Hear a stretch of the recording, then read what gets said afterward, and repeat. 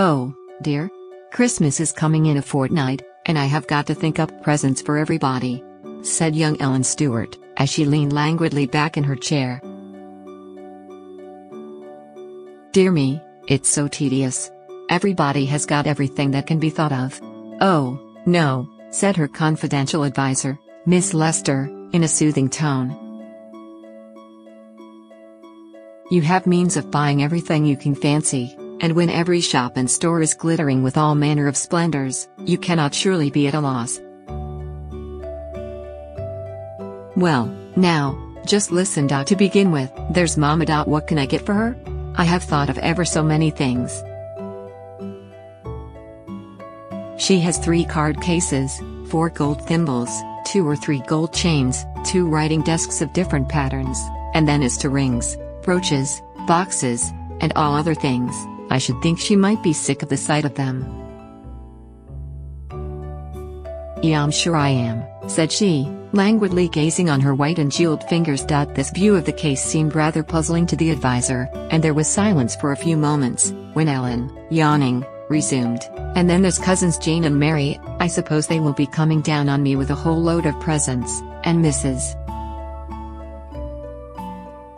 B. Dot will send me something she did last year, and then there's cousins William and Tom I must get them something, and I would like to do it well enough, if I only knew what to get.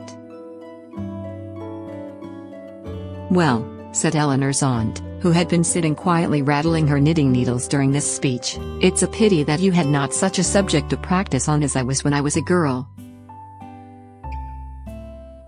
Presents did not fly about in those days as they do now. I remember, when I was 10 years old, my father gave me a most marvelously ugly sugar dog for a Christmas gift, and I was perfectly delighted with it. The very idea of a present was so new to us. Dear Aunt, how delighted I should be if I had any such fresh, unsophisticated body to get presents for. But to get and get for people that have more than they know what to do with now, to add pictures, books, and gilding when the center tables are loaded with them now, and rings and jewels when they are a perfect drug. I wish myself that I were not sick, and sated, and tired with having everything in the world given me. Well, Eleanor, said her aunt, if you really do want unsophisticated subjects to practice on, I can put you in the way of it. I can show you more than one family to whom you might seem to be a very good fairy, and where such gifts as you could give with all ease would seem like a magic dream. Why, that would really be worthwhile, aunt. Look over in that back alley, said her aunt. You see those buildings? That miserable row of shanties? Yes. Well, I have several acquaintances there who have never been tired of Christmas gifts, or gifts of any other kind. I assure you, you could make quite a sensation over there. Well, who is there? Let us know. Do you remember Owen, that used to make your shoes? Yes, I remember something about him. Well, he has fallen into a consumption, and cannot work anymore, and he, and his wife, and three little children live in one of the rooms. How do they get along? His wife takes in sewing sometimes, and sometimes goes out washing. Poor Owen. I was over there yesterday, he looks thin and wasted, and his wife was saying that he was parched with constant fever, and had very little appetite. She had, with great self-denial, and by restricting herself almost of necessary food, got him two or three oranges, and the poor fellow seemed so eager after them. Now, said her aunt, suppose Owen's wife should get up on Christmas morning and find at the door a couple of dozen of oranges, and some of those nice white grapes, such as you had at your party last week, don't you think it would make a sensation? Why, yes, I think very likely it might, but who else, aunt? You spoke of a great many. Well, on the lower floor there is a neat little room, that is always kept perfectly trim and tidy. It belongs to a young couple who have nothing beyond a husband's day wages to live on. They are, nevertheless, as cheerful and chipper as a couple of wrens, and she is up and down half a dozen times a day, to help poor Mrs. Owen. She has a baby of her own, about five months old, and of course does all the cooking, washing, and ironing for herself and husband, and yet, when Mrs. Owen goes out to wash, she takes her baby, and keeps it whole days for her. I'm sure she deserves that the good fairies should smile on her, said Eleanor. One baby exhausts my stock of virtues very rapidly. But you ought to see her baby, said Auntie, so plump, so rosy, and good-natured, and always clean as a lily. This baby is a sort of household shrine, nothing is too sacred or too good for it, and I believe the little thrifty woman feels only one temptation to be extravagant, and that is to get some ornaments to adorn this little divinity. Why, did she ever tell you so? No, but one day, when I was coming downstairs, the door of their room was partly open, and I saw a peddler there with open box. John, the husband, was standing with a little purple cap on his hand, which he was regarding with mystified, admiring air, as if he didn't quite comprehend it, and trim little Mary gazing at it with longing eyes. I think we might get it, said John. Oh, no, said she, regretfully, yet I wish we could, it's so pretty. Say no more, aunt. Isay the good fairy must pop a cap into the window on Christmas morning. Indeed, it shall be done. How they will wonder where it came from, and talk about it for months to come. Well, then, continued her aunt, in the next street to ours there is a miserable building, that looks as if it were just going to topple over, and away up in the third story, in a little room just under the eaves, live two poor, lonely old women. They are both nearly on to 90. I was in their day before yesterday. One of them is constantly confined to her bed with rheumatism, the other, weak and feeble, with failing sight and trembling hands, totters about, her only helper, and they are entirely dependent on charity. Can't they do anything? Can't they knit? said Eleanor. You are young and strong, Eleanor, and have quick eyes and nimble fingers, how long would it take you to knit a pair of stockings? I? Said Eleanor. What an idea. I never tried, but I think I could get a pair done in a week, perhaps. And if somebody gave you 25 cents for them, and out of this you had to get food, and pay room rent, and buy coal for your fire, and oil for your lamp, well, I will stop, but they can't, they must pay so much every month for that miserable shell they live in, or be turned into the street. The meal and flour that some kind person sends goes off for them just as it does for others, and they must get more or starve, and coal is now scarce and high priced.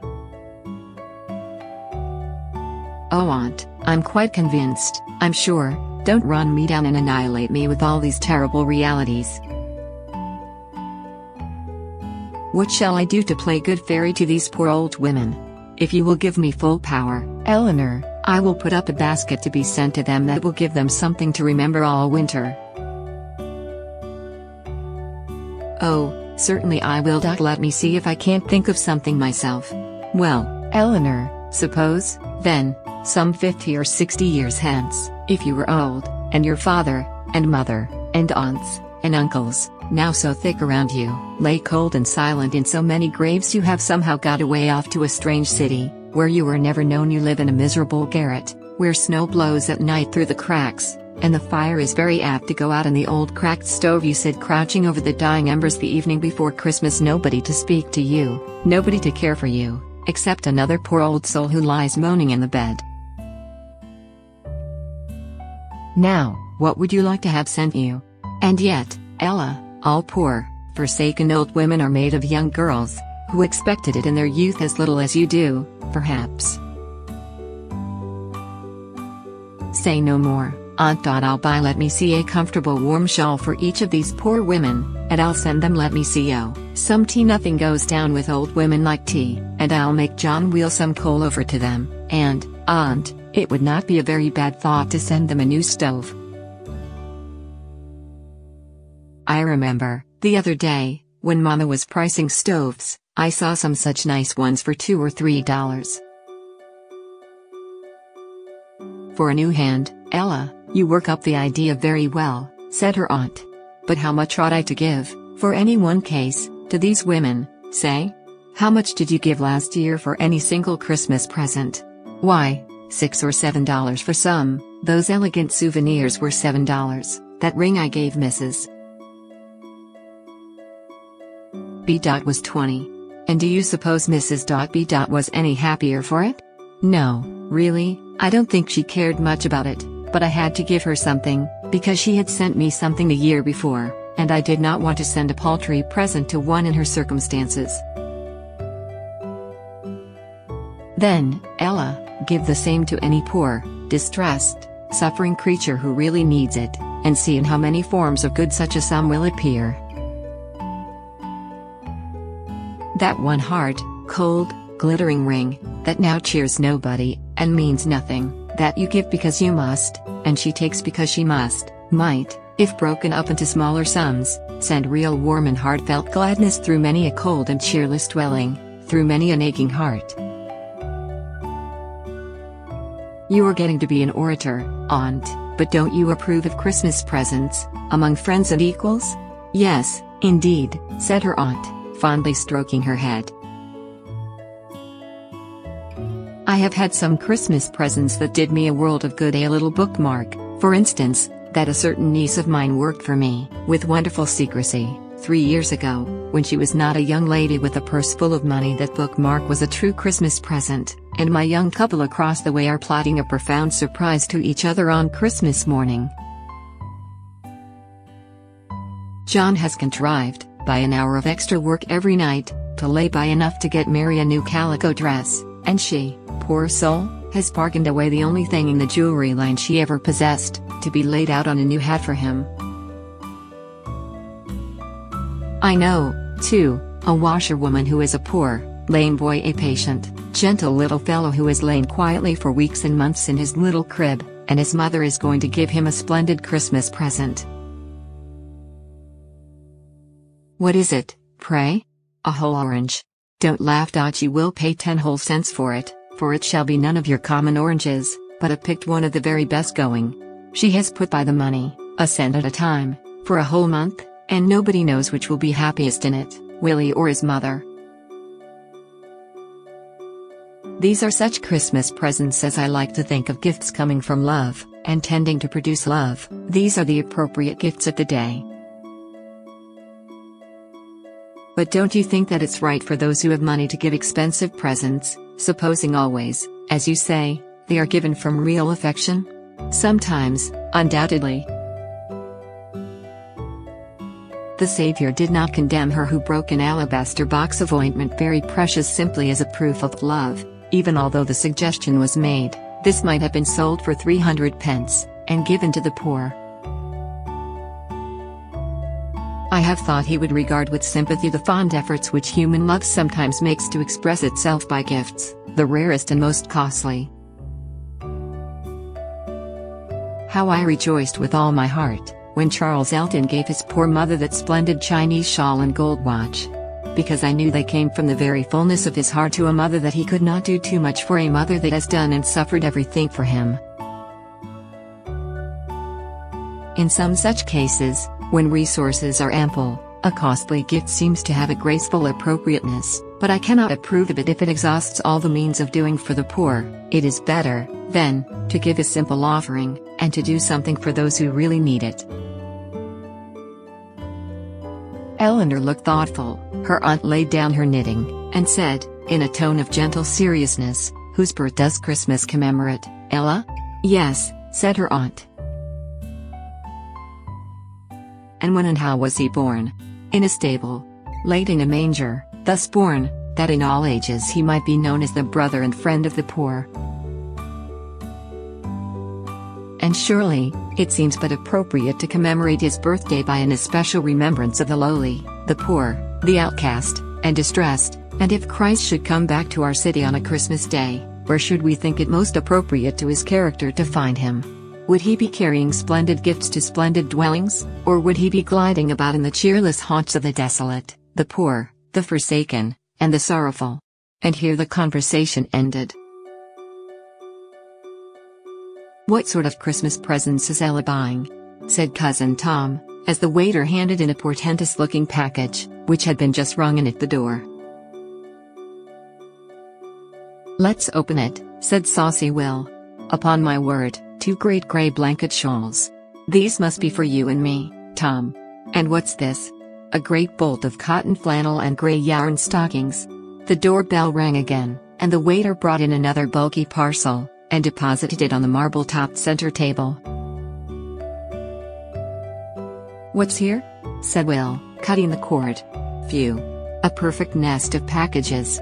Oolong tea. Oranges. Grapes. White sugar. Bless me, Ella must be going to housekeeping. Or going crazy. Said Tom, and on my word, said he, looking out of the window, there's a drayman ringing at our door, with a stove, with a tea kettle set on the top of it. Ella's cook stove, of course, said Will, and just at this moment the young lady entered, with her purse hanging gracefully over her hand. Now, boys, you are too bad. She exclaimed, as each of the mischievous youngsters were gravely marching up and down, attired in a grey shawl. Didn't you get them for us? We thought you did, said both. Ella, I want some of that cotton flannel, to make me a pair of pantaloons, said Tom. I say, Ella, said Will, when are you going to housekeeping? Your cooking stove is standing down in the street, on my word, John is loading some coal on the tray with it. Ella, isn't that going to be sent to my office? said Tom. Do you know I do so languish for a new stove with a tea kettle in the top, to heat a fellow's shaving water. Just then, another ring at the door, and the grinning waiter handed in a small brown paper parcel for Miss Ella. Tom made a dive at it, and staving off the brown paper, developed a jaunty little purple velvet cap, with silver tassels. My smoking cap, as I live said he, only I shall have to wear it on my thumb, instead of my head too small entirely, said he, shaking his head gravely. Come, you saucy boys, said Auntie comma entering briskly, what are you teasing Ella for? Why, do see this lot of things, Aunt. What in the world is Ella going to do with them? You know. Then I can guess, Aunt, it is some of your charitable works. You are going to make a juvenile Lady Bountiful of Ella, eh? Ella, who had colored to the roots of her hair at the expose of her very unfashionable Christmas preparations, now took heart, and bestowed a very gentle and salutary little cuff on the saucy head that still wore the purple cap, and then hastened to gather up her various purchases. Laugh away, said she, gaily, and a good many others will laugh, too, over these things. I get them to make people laugh people that are not in the habit of laughing. Well, well, I see into it, said Will, and I tell you I think right well of the idea, too. There are worlds of money wasted, at this time of the year, in getting things that nobody wants, and nobody cares for after they are got, and I am glad, for my part, that you are going to get up a variety in this line, in fact, I should like to give you one of these stray leaves to help on, said he, dropping a $10 note into her paper. I like to encourage girls to think of something besides breast pins and sugar candy. But our story spins on too long. If anybody wants to see the results of Ella's first attempts at good fairyism, they can call at the doors of two or three old buildings on Christmas morning, and they shall hear all about it. Create a library and add your favorite stories. Get started by clicking the Add button.